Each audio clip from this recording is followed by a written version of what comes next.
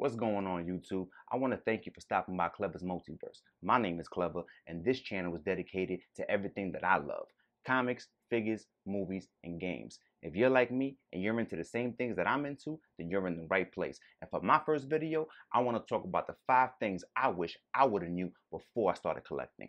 Let's go.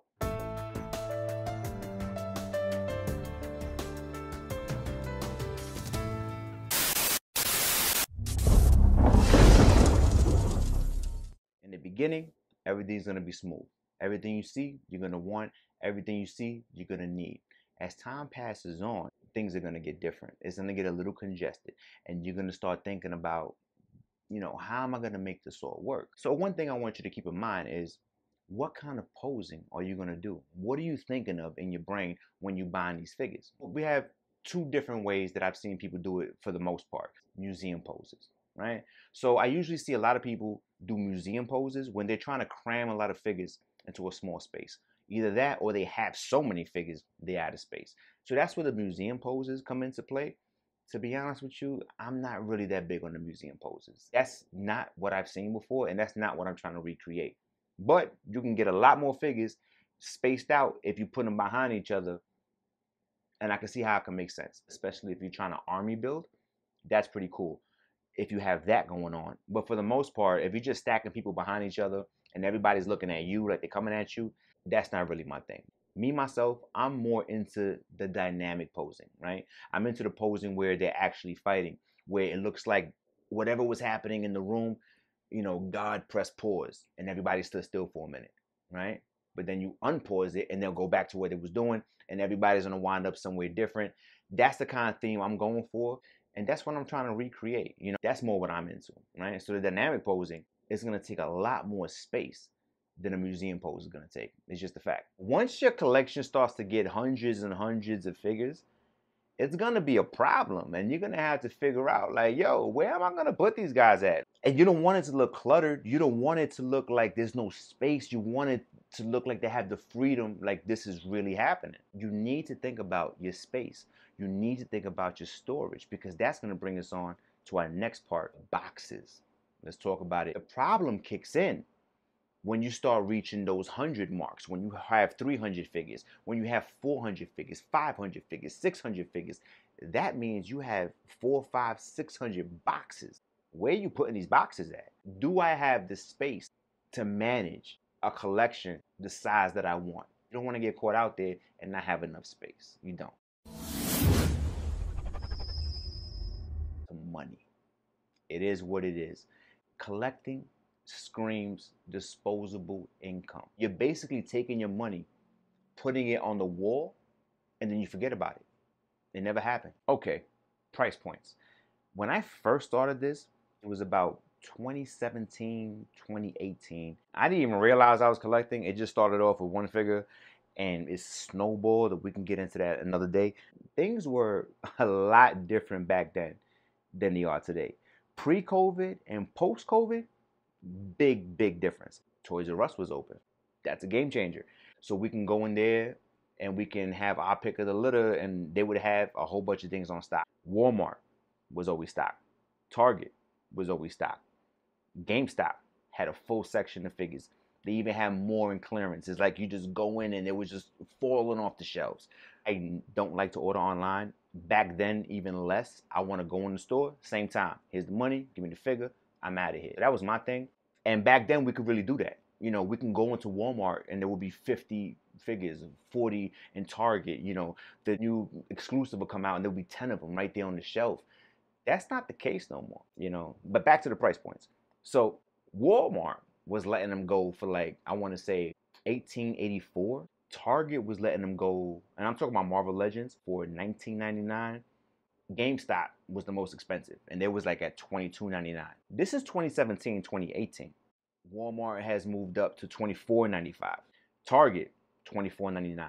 GameStop surprisingly is holding firm at $24.99. Now this is per figure. So let's do the math. So when I first started for $100, I can get 5 figures and still get change back probably. Now we're talking about 100 and 510 dollars for four figures. I'm not sure that I would have started in 2023 had I not started back then. We have to add on the fact that they're selling figures today that didn't sell back then. Now they'll sell builder figures or deluxe figures all by themselves. Mojo right now, I think it's going between like 55 and 60 bucks. The Blob is going for 60 bucks, between 50 and 60. That's for one figure.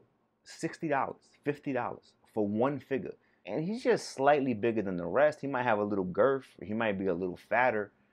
But the point is, we would have got that guy for free back in 2017. The blob would have came in a wave. Now they know, yo, I could just sell the blob for 60 bucks. Not even gonna get into HasLabs right now. I could, I think I can save that for a whole nother video. But HasLabs is a whole nother beast. Now, now we're talking about several hundred dollars. Now we're talking about waiting in line. It's almost like HasLabs are like the hot toys of Hasbro. Now, is this something that you can see yourself getting into? Because this is what it will snowball into. It's not all about that Flash figure, that Superman. If you buy that Superman, you're gonna want to buy that Wonder Woman. You're gonna want to buy the Joker. You're gonna want to buy that Green Lantern, and it's not gonna stop. I'm telling you, my brother, this is addictive. The cherry on top to all of this is that these stores are vacant. Post COVID, these stores are vacant. We find the peg warmers. We have one or two every now and then. You're lucky if you walk in and you find something you want. You're lucky if you find one. We used to buy three or four at a time. Now things have really changed. The figures are just not dropping the way they used to. You have to be extremely vigilant. You have to keep searching the same stores over and over and wasting your gas and driving around and trying to see if you're the first one there just so you can get the only figure that they release for the whole store. That's going to lead you to have to start ordering online. You're going to have to start hitting uh, Walmart.com. You're going to have to start hitting Target, Big Bad Toy Store. You're going to have to start hitting all of these stores, which means shipping costs and wait times. So you're going to have to buy two or three at a time to make it worthwhile. I'm not saying that everybody does it, but I have collector's insurance on everything that I own. I put way too much money into everything that I have to not protect it, you know? That's a monthly fee. It's not that much. But when you start adding up in the grand scheme of things, it's all gonna start getting crazy real quick once you start hitting the calculator. Shipping costs, new figures, old figures, HasLabs, collector's insurance. Maintenance and cleaning. The bigger your collection becomes, the more burdensome it's going to become. Dust is going to be a major issue. Wiping down figures is going to be extremely time consuming. Arranging, rearranging your figures is all going to come into play. Now, these things take time.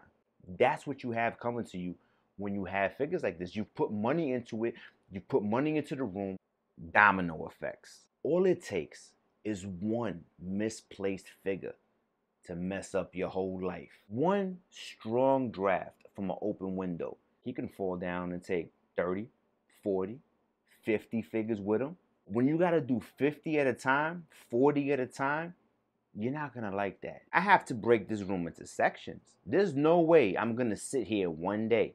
And I know you can't see the full dynamic of it. This is just what you see at eye level because I'm sitting down. But all my figures go up to the ceiling. I have them hanging off the ceiling, all type of stuff. There's no way I could do this whole room in one day. Even if I had the day off, it's just like my body won't allow me to do it. It might take me the whole week to get across the whole room. That gets very monotonous. That gets like, yo, my God. After like five, you're like, yo, I'm off this, man. Like I'm telling you, like that part right there is the worst part.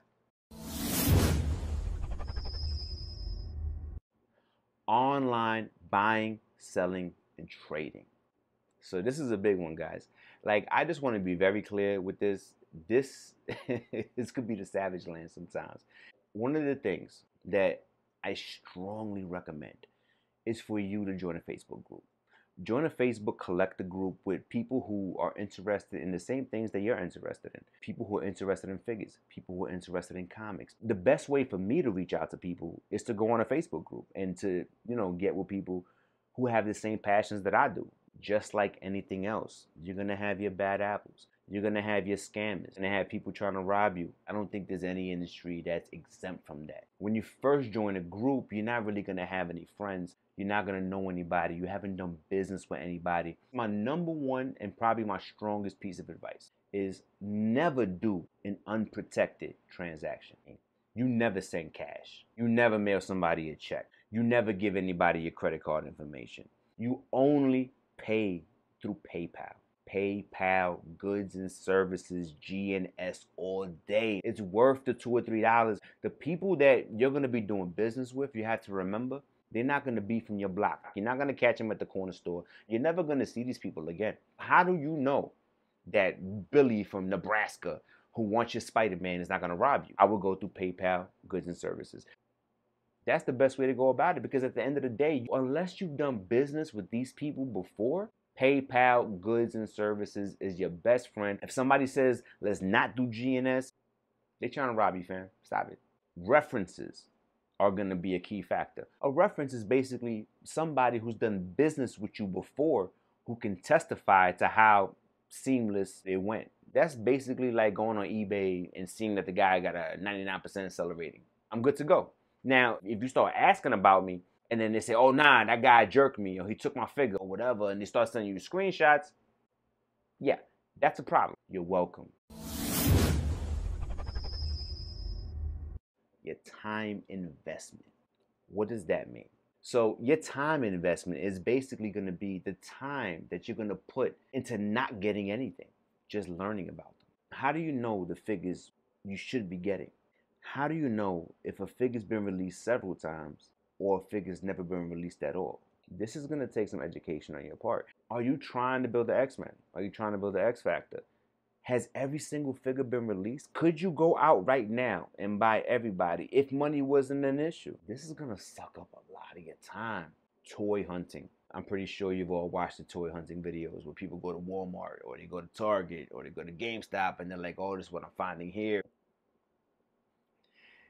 Let me explain something to you. Like, you know, by the time you go to three Walmarts and you go to three Targets and you go to five GameStops and your local comic store, your day is shot.